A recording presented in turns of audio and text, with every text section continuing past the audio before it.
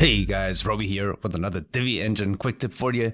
In today's Divi Engine quick tip, we're going to be taking a look at links. If they were stored in an ACF custom field, we want to see how we can display them in different ways on the front end of your Divi sites using Divi Machine and the ACF item module.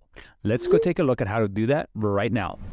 Okay, so we've got this layout here, which is a real estate layout that we made that you can even go play with if you go to the Divi Machine product page, which will be linked in the description of this video. It looks pretty good, but there's one thing that we don't love right here, and it's the way that this link looks like for the floor plan. Now, all this is really is if I come here to the back end of my site, I've got my houses, custom fields right here, and right at the bottom, I've got a floor plan link with the type of URL. Now you can have this be a download. So maybe this could be an album post type and it could be all the different songs that are associated.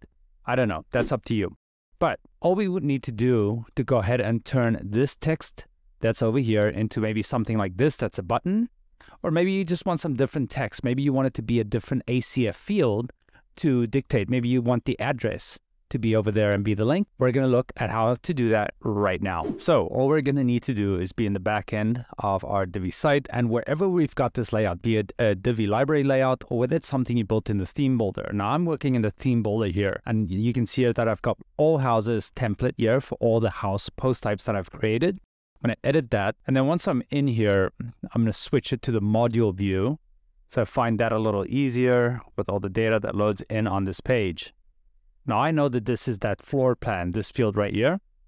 And I can see that your floor plan link right there.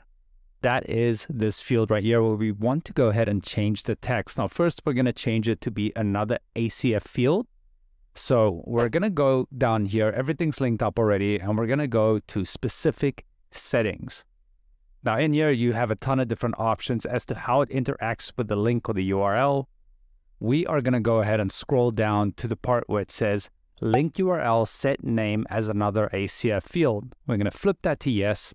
And then all we need to do is go and select the ACF field. So when we click the drop down, it opens up all of our fields. And here we've got the floor plan link. That's of course not the one we want. We want the location of the house. So I'm going to go select that and then I'm going to save it and I'm going to hit save again. And now on the front end here, we'll refresh the page. And there you go. Now you've got the address of the property as the link for the floor plan. Now you can use any other field. You can have a field specific that can be set while the user is setting up the post, but that is the one way. Now let's look at how we would change this over to a button instead. So we're going to go back to the theme builder here and on the layout where you've got all your ACF item modules. I'm going to open up that module again and we are going to scroll down to specific settings. And we're going to say, well, let's make this file link email phone field into a button. Because of course, if you have a phone number and stuff there, you might want to be able to click on it to call. But we're going to enable that. We're going to scroll down a bit further again. Now we'll unset this link URL set name as another field. And we'll just put the text on the button and then we'll just say view floor plan, maybe. Save that.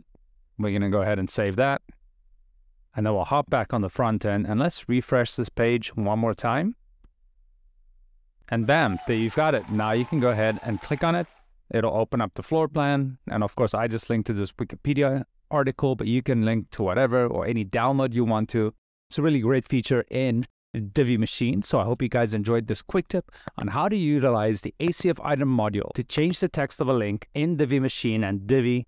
And that is going to help you make better sites more bespoke for your clients. So guys, that was me, Robbie with the Divi Engine team. I'm going to catch you guys in the next quick tip real soon.